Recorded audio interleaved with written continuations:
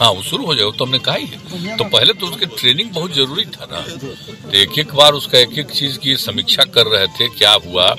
तो एक एक चीज़ को देखने के बाद हो गया कि सब लोगों को काफ़ी संख्या में ट्रेन किया गया है। और उसके बाद सब जगह जा जा करके एक एक घर में एक एक बात को पूछेंगे, देखेंगे। कोई अब जात की जगह उपजात बता देता है ना। तो वही ना बगल वाला बोलेगा तो ही उसको फिर समझा करके कि भाई देखिए तो इसी तरह से क्योंकि उपजाति लिखा जाना तो ठीक नहीं ना है। जाति लिखा गया तभी ना संख्या ठीक से होगा। तो इस तरह से एक एक चीज़ सबको समझाए हैं।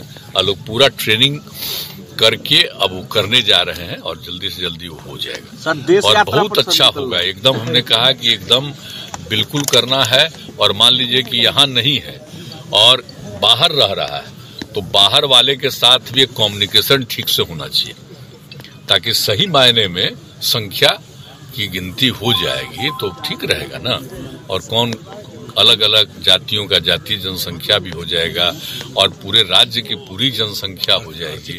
तो इसलिए एकदम बिल्कुल और आर्थिक स्थिति। सबका देखना, उसको हम बहुत सिखवाए हैं कि कोई जात रहे, उसकी आर्थिक स्थिति देख लीजिए। ताकि आर्थिक स्थिति के बारे में जानकारी होगी तो हम लोग इस तरह से करवा रहे हैं सर्वेक्षण। लेकिन इसके अलावे तो बात ये भी ना है भाई, कि विकास भी चाहते हैं ना। हम लोग तो सबका चाहते ही हैं उनको तो फ़ायदा मिले लेकिन इलाके का विकास होना चाहिए और कोई गरीबी स्थिति में है तो उसको और क्या करना चाहिए एक एक चीज़ की जानकारी। खाली जाति का आधारित गणना खाली हम नहीं करवा रहे हैं।